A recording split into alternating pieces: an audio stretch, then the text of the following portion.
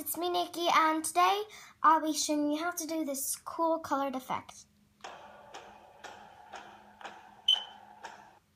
So yeah, so first of all you're just going to go ahead and choose a song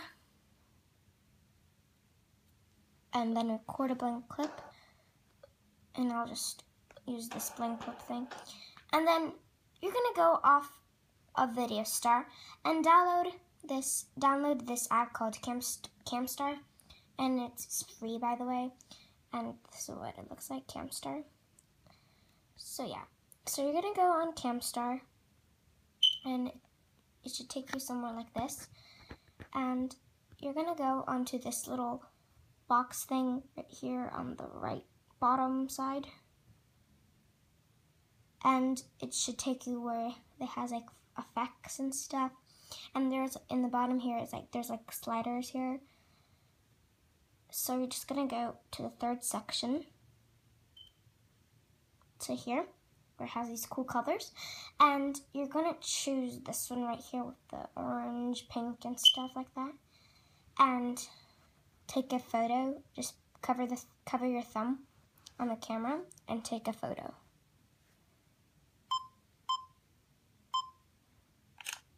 and then go back onto Video Star.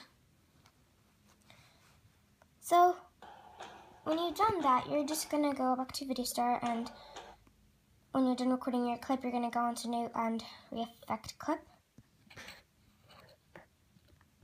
Go to new effects. Go to the um, frame tab thing and then scroll down so you find bright photo and it looks something like something like that. Something like that. And then pick a photo and pick the photo you took from Camstar. And it should zoom it in already for you. Like that. Press done. And then it should appear like this then just reflect it with this.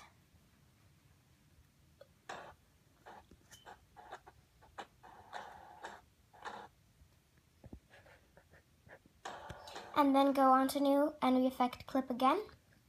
Go to new effects. Go to paintbrush tab and scroll down till you find hue shift with the arrow there, like the arrow like the circular arrow, and then adjust it where you want it to be. It doesn't really matter. And then you should have that, and then just re-effect it.